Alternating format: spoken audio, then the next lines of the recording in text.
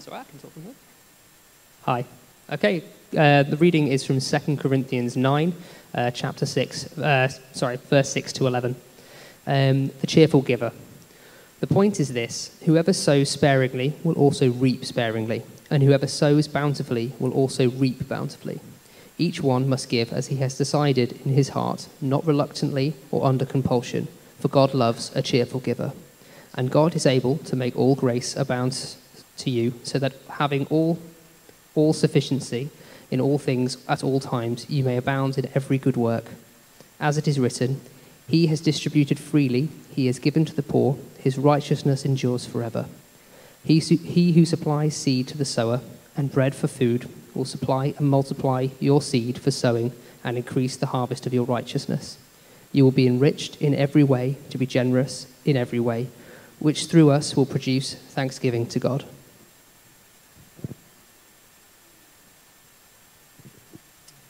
If you all want to stretch your hand out as we pray for Graham as we prepare to hear the word. Lord Jesus, we just want to thank you for this pastor that you have placed in this church. And we pray for his faithfulness in wanting to teach your word as you teach it. And Lord, we just pray for confidence and we just pray for also sensitivity of the Holy Spirit that Graham gets out what you want him to say, not that what Graham wants to say, but what you want Graham to say to us through your word. And we pray for just an opening of our hearts and minds and be receptive to what your word has to speak to us through today. Amen. Why don't we just take a moment of silence before we hear the word of God? If you want to close your eyes and just put your hands out, do whatever you need to do. We're just going to acknowledge the presence of God together uh, before we hear his word.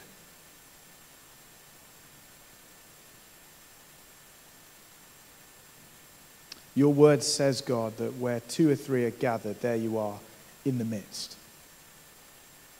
And so, as we wait on you this morning, we thank you that that word is true. That you are here, you are present, you are closer than the air we breathe, as the worship song says. And Lord, today, as we hear the scriptures, we want to acknowledge that we are hearing the word of our Father. We are hearing our Father's voice today. And we pray that you would right now just begin to supernaturally touch each person in this room with wonderment again at the fact that we're hearing our Father's voice, that we're hearing from God today. Lord, would you fill this place with your presence? Would you powerfully touch each individual, we pray? Touch our lives afresh, Holy Spirit. Pour out your love upon us today. Pour out your power and your love upon your people.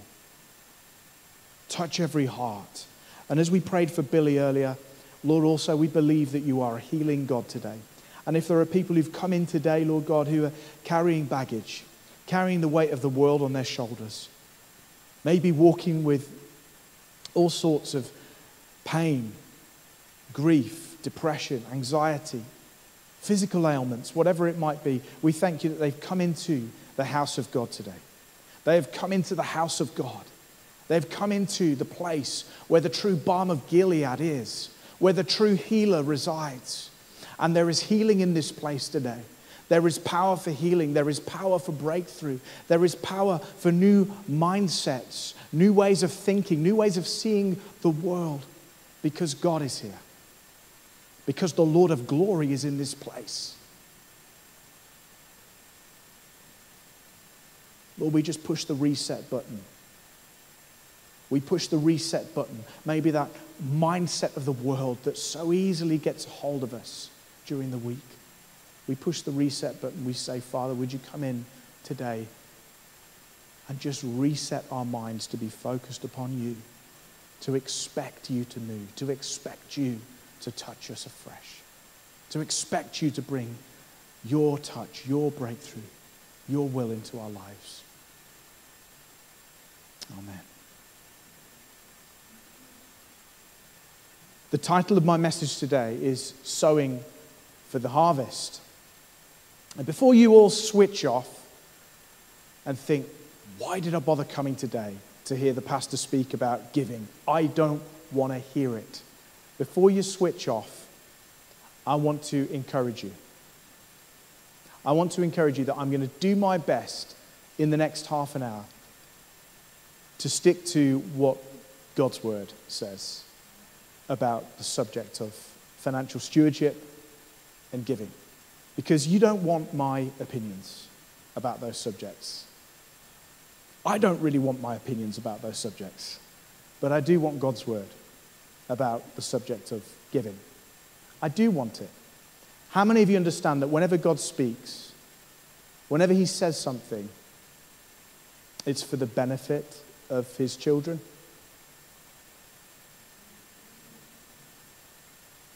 He never says anything idly. How many of you waste words? It's one of my least favorite things about myself is that I waste words. I'm wasteful with the things I say. Sometimes we say too much, don't we? God never wastes any words. God never says anything that does not have meaning, power, and utility for our lives. And this is true of the subject of giving. And I just want to say that today because I'm speaking from experience. Every time I've walked into a church and the pastor stands up and says, Today we're going to talk about giving, my heart drops. And I'm sure we're all the same. We're all in the same boat, aren't we, with that? And I, and I excuse it, and there's grace there is forgiveness. But I just want to encourage you don't switch off. Don't switch off. Because if it's God's word, it's something we want to hear, isn't it? It's something we want to understand and to live by. It's, so, it's a subject I haven't addressed either for over a year. And I thought, today's as good a day as any to talk about it. Because this new building represents a new season for us as a church. It represents a different part of our journey together since that first Sunday when we met on Upper Green, actually, in Tettenhall, with about, I don't know, a handful of us and a guitar. This is a new season, so I thought today's as good a day as any to talk about this.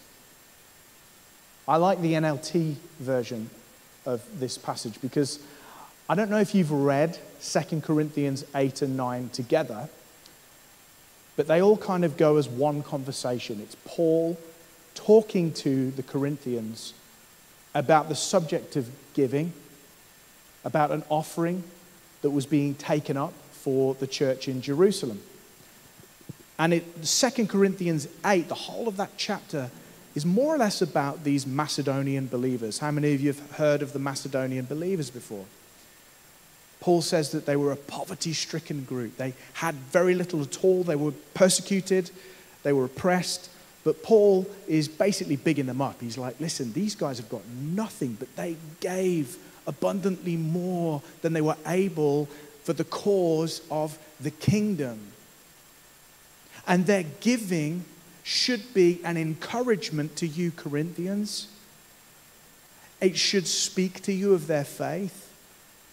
It should be a benchmark for you to aim at. It's all about these Macedonian believers, but it isn't, in my view, the easiest passage to read. It, it's a bit convoluted in the ESV sometimes, I find, or goes over my head. So the NLT sometimes makes it a bit easier to understand. So this passage in the New Living Translation says, Remember this a farmer who plants only a few seeds will get a small crop. But the one who plants generously will get a generous crop. You must each decide in your own heart how much to give. And don't give reluctantly or in response to pressure. How many of you understand that's a good word? If you're feeling pressured to give, the Bible says don't. Well, that's a good word, isn't it? How many of you ever felt pressured to give? Yeah.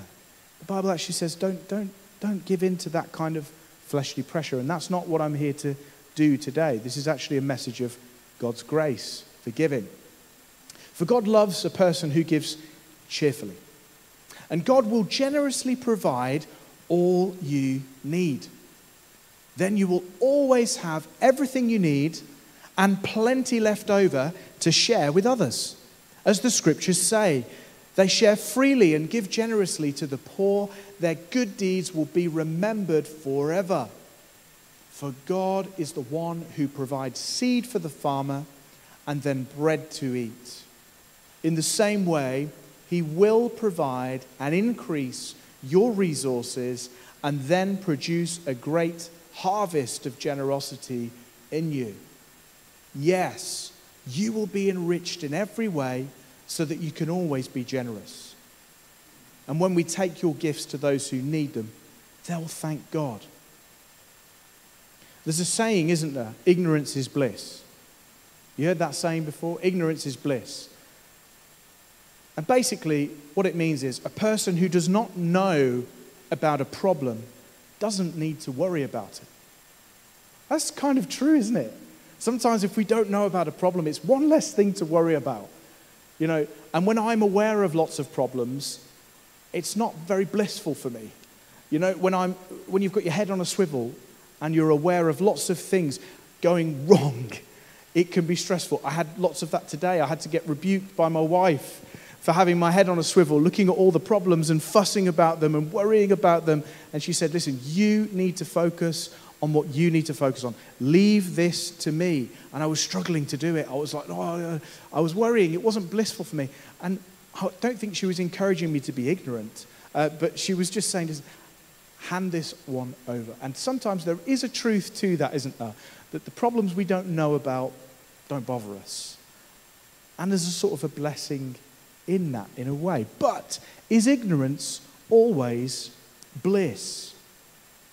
Well, I remember a few years back, there was a post on Facebook, and I did a foolish thing.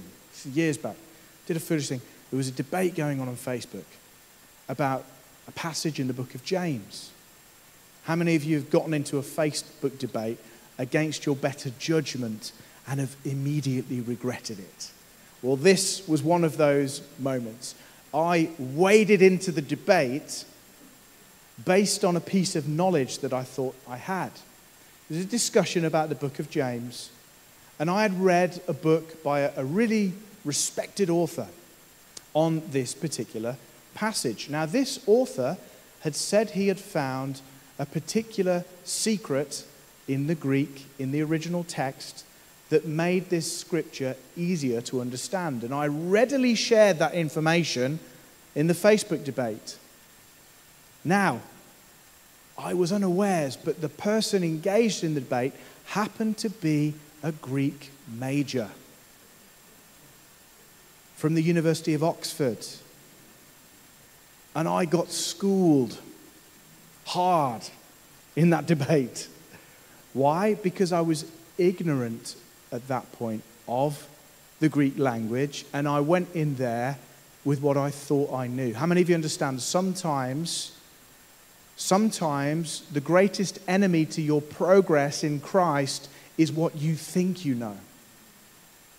Sometimes the greatest enemy to your progress in Christ is what you think you already know.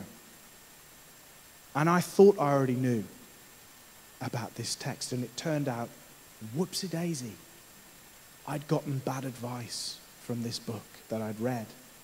And in fact, this person wasn't correct. Now, the Lord taught me a painful lesson in that, but do you know what I did? I spoke to the person that schooled me. In a private message, I said, you know what? You're right. And I said, Would you mind teaching me how to read Greek? She has been my, Antonym, she has been my Hebrew and Greek teacher now for five years. And I can now read biblical Greek, and I can, I'm on the way to reading biblical Hebrew. But that ended up being a cure for my ignorance in that area, and it has been a blessing. But was my ignorance a blessing to others? I'd like to wager that it wasn't. I'd like to wager that sometimes ignorance is blissful for the ignorant person, but it's a curse to everybody else. Isn't it? How annoying is it when you know something and you could help somebody, but they don't think they need your help? They think they know already. If you're a parent, you'll know how that feels all the time. I remember my mum used to say to me all the time, You think you know everything. You know, we've lived a little bit longer than you. I think we've got things that we could teach you that you already know. You know, it's the ignorance and the, the, the kind of presumption of youth. So, ignorance may be blissful to the ignorant, but it's a curse to everybody else. In 2 Kings 22, the king Josiah sends a group of men to go up to the temple and to collect the money that's been raised there for repairs on the temple. And when he gets there, the priest Hilkiah says, Listen, we found a book in the temple. It's the book of God's law. We found it in here. They hadn't had it for many years, and they took it back to King Josiah. King Josiah rends his garments. He rends it. He tears his clothes. He's enraged. He's impassioned. He's sad. He's angry. Why? Because the people of Israel had been living in ignorance of God's word, and therefore, what had they been doing? They'd been sinning against God without even realizing. They'd been sinning against God and not even knowing it. So they, that, that ignorance for them may have been, in a sense, blissful. They weren't aware when they were sinning. Was it blissful to the whole people of Israel? No, no, it wasn't. It wasn't blissful for them because you know what? When Josiah sought the Lord and said, We found the book of the law, God, do you know what God said? And because you lost it, there will be judgment that comes upon you even though you found it now. There will be a judgment that comes against Israel. So ignorance is not bliss in the end. And today, as we study this word, that's my aim, is to make us less ignorant of God's word on this subject. Because, why do I say this? Because I think this subject of giving and financial stewardship is one of the greatest areas of ignorance in the body of Christ today. Why? Because it's either been criminally underrepresented from the pulpit or it's been criminally misrepresented from the pulpit. Those two extremes. And so, therefore, there is a great deal of ignorance on this particular subject. And I think there, that God is going to have words to say to many of the pastors in the West these days when they arrive to meet Him. Because a pastor who leaves out weighty subjects or difficult matters in Scripture and constantly focuses on the good stuff is like a parent who only feeds their child junk food. How many of you understand if you eat junk food for a living, if you feed your kids consistently on junk food, they are going to be unhealthy children? We have a church in the West full of unhealthy children. They've been raised and fed on candy floss. And so, guess what? When you try and feed them a vegetable or give them medicine, they spit it out. They don't like it. Give me the candy floss. I don't like this word. Even though that particular word could do them a great deal of good, they don't like it because they've been raised on candy floss and they don't know any better. They're like a child. Medicine rarely tastes good unless it's Calpol. Oh, hallelujah for Calpol. But Calpol's the anomaly. Every other medicine tastes disgraceful. But guess what? It can heal the body, can't it? And it's the same with some of these more difficult doctrines in Scripture. Is that often they're like medicine. The first taste isn't necessarily good. You know, we could talk about the, the doctrine of original sin or depravity, total depravity, right? Nobody likes that. Do you want to hear about your, your total inability to please God outside of grace? I don't want to hear about that. Tell me about how I'm a child of God and how I'm amazing and I'm a victor and I'm going to overcome.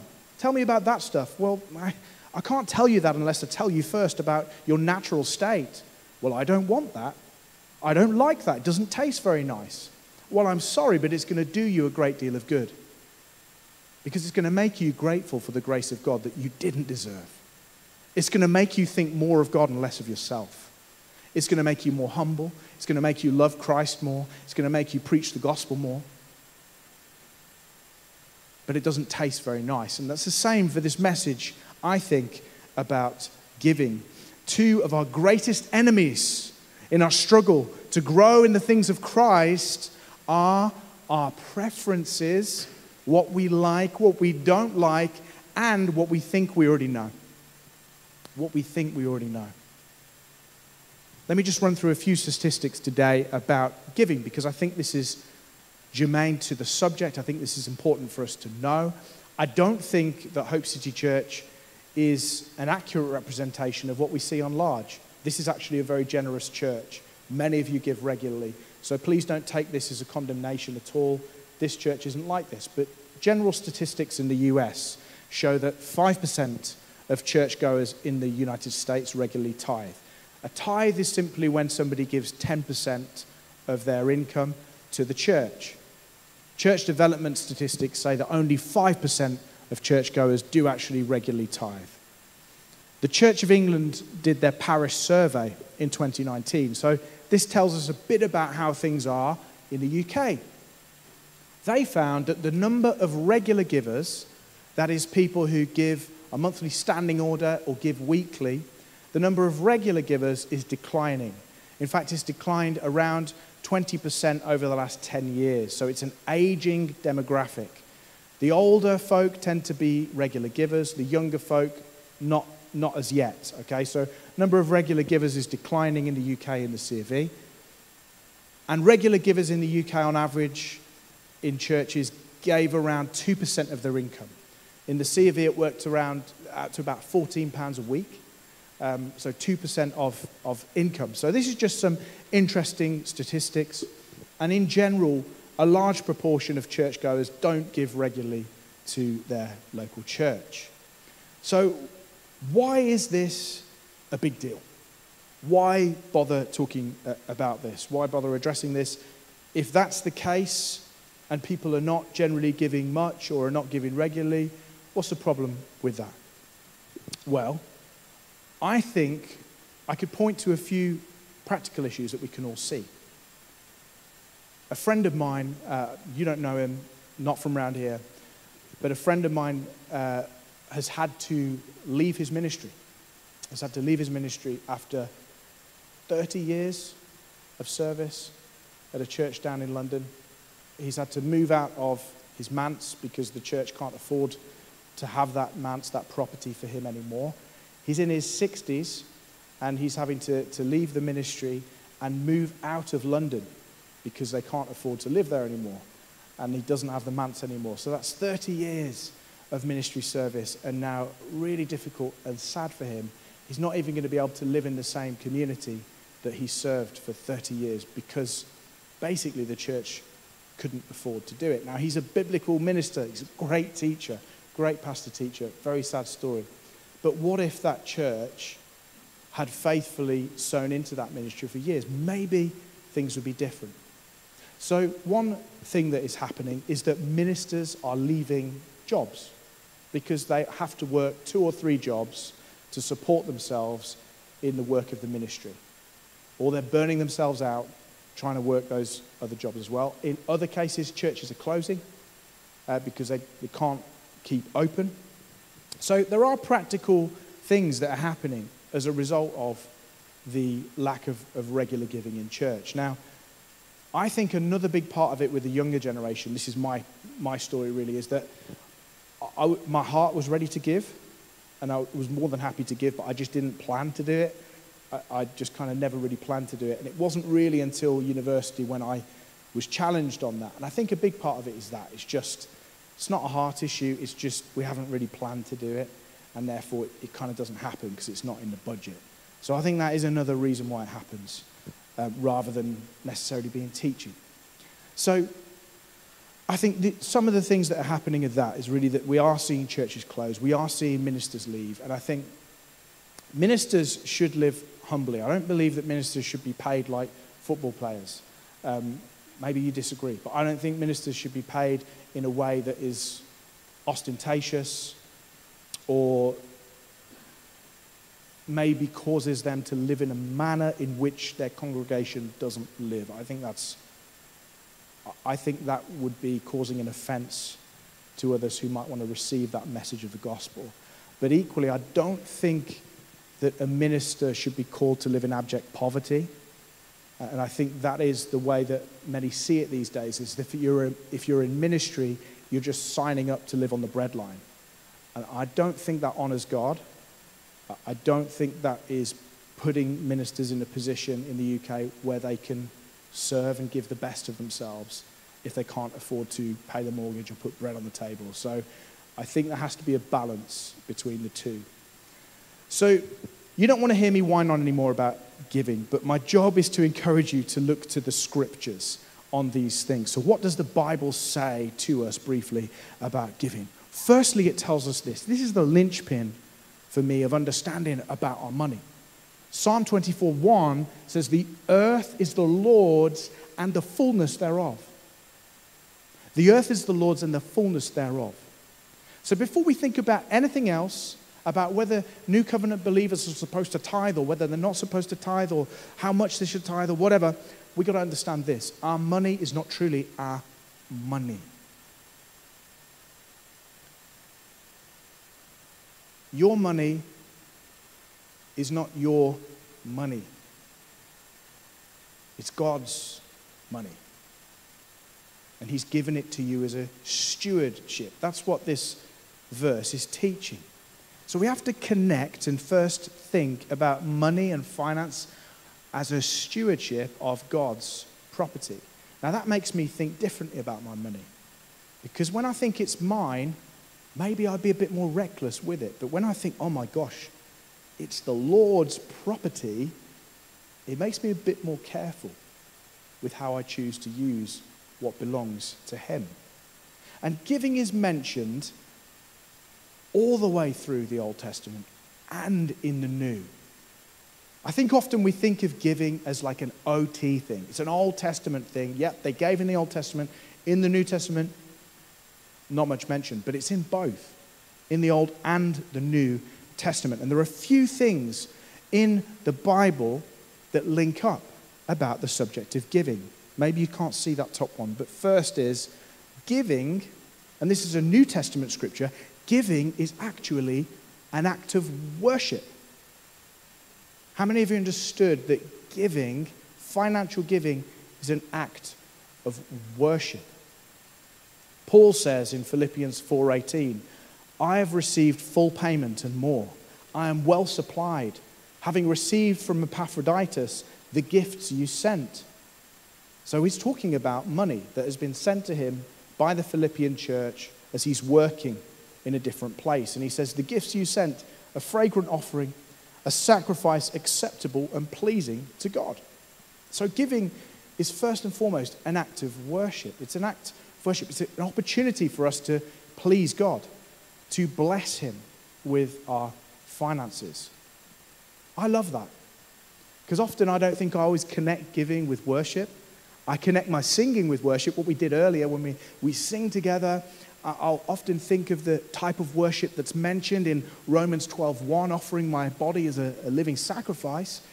That kind of worship. But I hadn't always connected the idea of giving my finances into the kingdom as, as worship. But that's what it is. It's an act of worship. Secondly, giving in the scriptures is an act of obedience. It's an act of obedience. In the Old Testament, God often judged his people's obedience on their giving.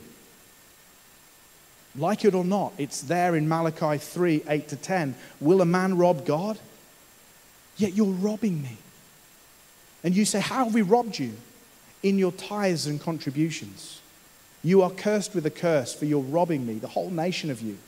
Bring the full tithe into the storehouse, that may be food in my house and thereby, thereby put me to the test, says the Lord of hosts, if I will not open the windows of heaven for you and pour down a blessing until there is no more. So, giving was often a test of obedience in the Old Testament. And thirdly, giving is evidence of God at work in us, it reveals the heart. Matthew 6 21 says, Wherever your treasure is, there the desires of your heart will be. Now, in the Old Testament, giving was a bit different than it is now. They didn't just have one tithe, and of course, a tithe is what? Giving 10%. 10% of your produce. And what they gave in those days wasn't money, it was their produce, it was what they grew um, on their land. And they wouldn't just give one tithe, they actually gave about three. So they would give back 23%, there or thereabouts, of their annual income. And they would give that to supply the Levites who were serving uh, in the temple and who didn't have any inheritance of their own. Um, they would use that to support the temple as well. And on top of that tithe, so not included in it, but on top of it, they also gave what were called free will offerings. A free will offering was if you got blessed in some area of your work, you received an inheritance, they would then choose to freely give out of that on top of their tithe to the house of God. So they gave, I would say that's a fairly, was very generous, isn't it? That's what they would give. That's what God commanded them to give in the Old Testament. Now, in the New Testament, it's slightly different. In the New Testament, under the covenant of grace, the tithe doesn't work quite in the same way. Because we, we don't have Levites, per se, that serve in a temple, we don't have a temple. Um, we don't all own land that we can give produce from the land. So the tithe isn't quite the same. It's not required today in the same way that it was in the Old Testament. So we're not under law, is what I'm saying. You're not legally required to give 23% of your income. But the principles do continue. The principles of giving continue from the old to the new. And that's the case right through the Bible, isn't it? We, have got to be careful that we don't draw too heavy of a line in between the Old and the New Testaments, as I think we're often prone to do, aren't we? You know, but actually, you can see God's grace in the Old and in the New, can't you? You can see Jesus in the Old Testament and Jesus in the New Testament. And just as you can see giving in the Old Testament as a principle that God is pleased with, you can see it in the New. So the principles continue to today. In fact, the Apostle Paul even connects the Old and the New Testaments in 1 Corinthians 9. He says, Don't you realize that those who work in the temple get their meals from the offerings brought into the temple?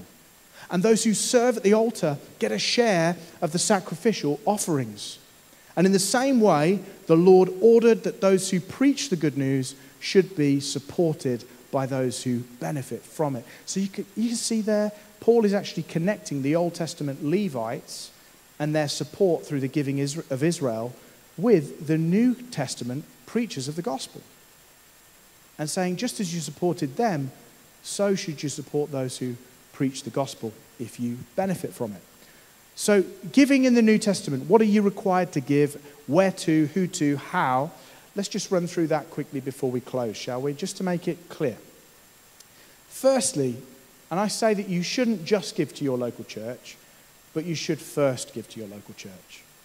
It should be a requirement of every person who's a member of a local church to support that local church through giving. Why? Because we are commanded to support the work of those who preach the gospel. We're commanded to support them.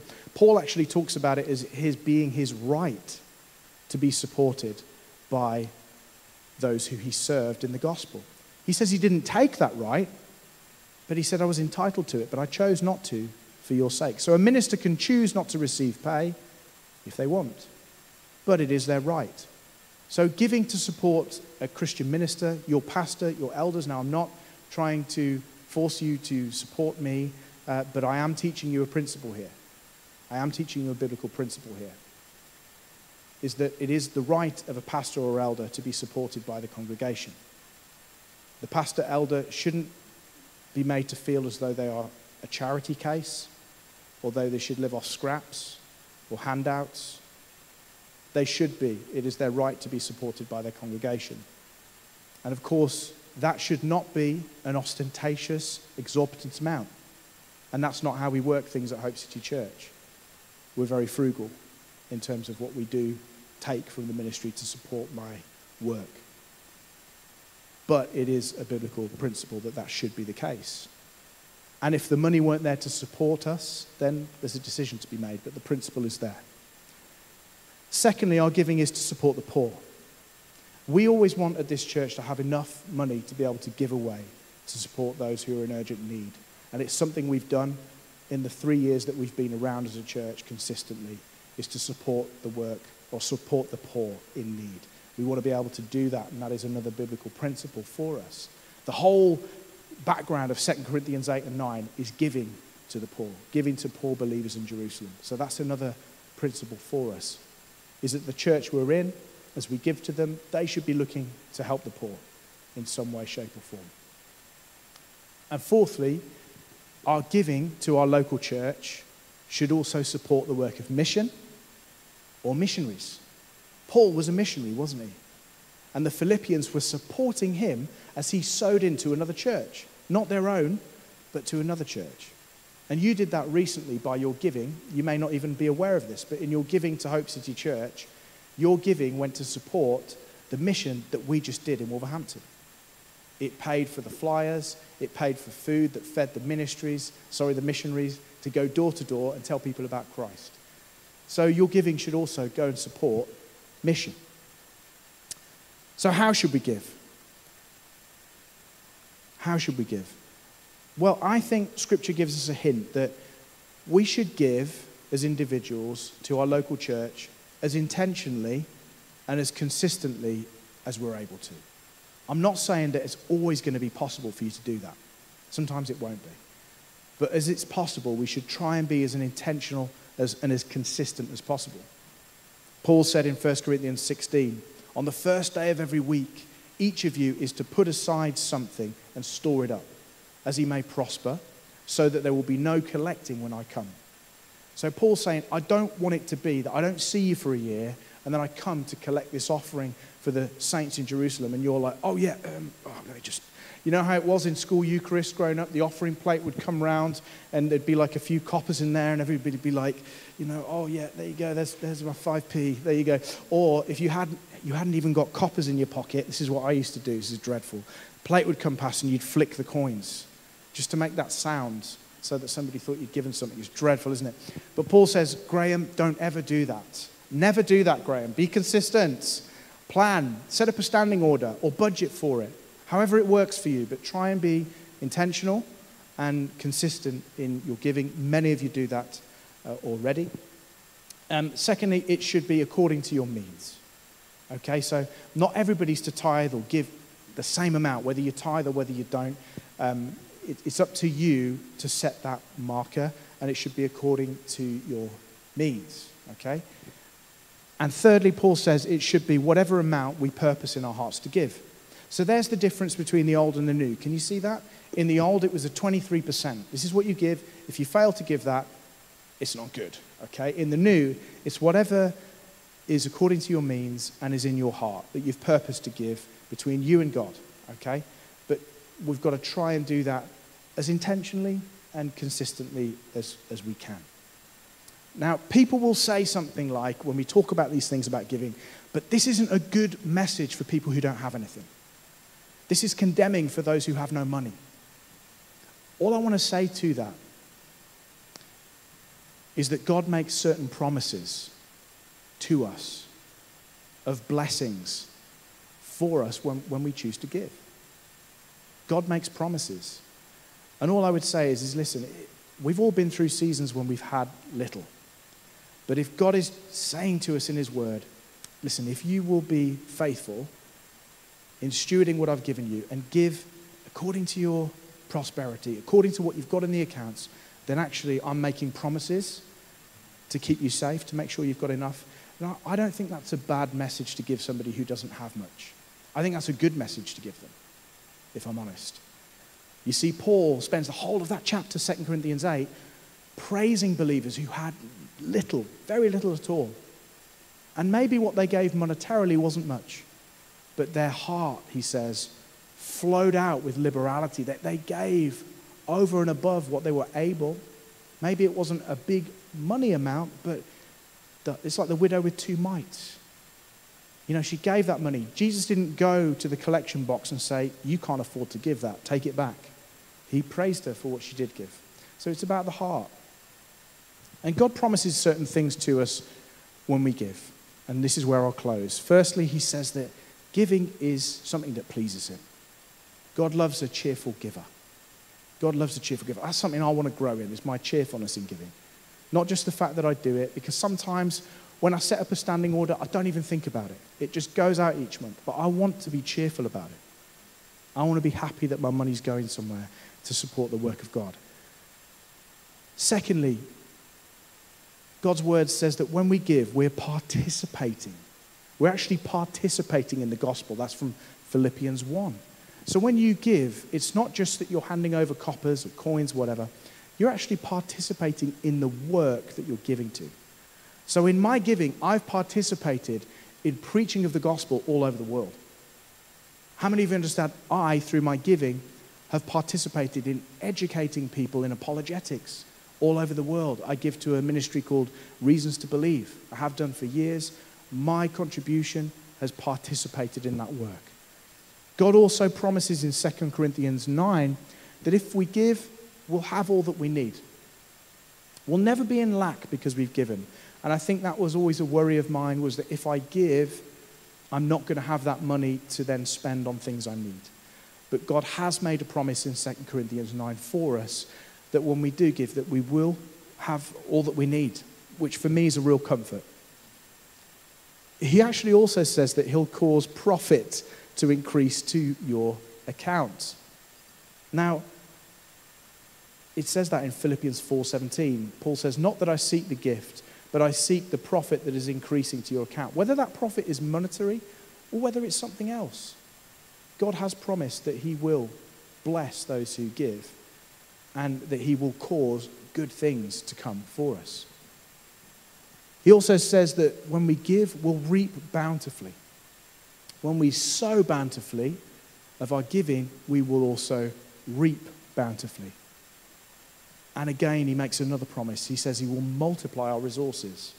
He'll multiply our resources. 2 Corinthians 9. So if we give, what he also says is, I'll keep giving you stuff that you can give. I'll keep giving you more seed to sow. I'll make sure you've always got enough. For me, those are really encouraging words that help me to feel better about sowing into the kingdom. And finally, Others will glorify God because of your giving. Others will glorify God because we chose to sow into God's kingdom. We serve, to finish with, a giving God. We serve a God who didn't just give us sentiment, He didn't just speak from the heavens and go, I love you. Belinda, I love you. Darren, I love you. He didn't send a greetings card, did he? He sent his only son. He sent his only son. His love message was a message wrapped in flesh and blood Jesus Christ. He gave his only begotten son. Not just to come down and share a sentimental message about love, but to come and literally give himself on a cross for you and I. So we serve a God who gave. And that encourages me too in my giving that I want to follow Christ in his footsteps. As he gave his life for me, then I want to be able to give of what he's given me and sow back into his kingdom. Let's stand. I'm going to invite Yvonne and the worship team to come now. We do have at the back, we've got today um, gift aid forms that are ready. If, if you don't gift aid already and you'd like to take a form, they're going to be at the back for you to take away with you. And I would just like to encourage each of you to, to go away and think this week. As we've moved into this new facility, we have been very careful not to overspend. But of course, this is slightly more expensive than the last place we were. And so there are additional needs in the congregation that we are looking to cover. They are covered for the time being, but we would like you to consider is what you're giving right now generous? It, would you say it's generous? Would you say it's according to your means? Those are things to go home and think about and pray over um, as we finish up.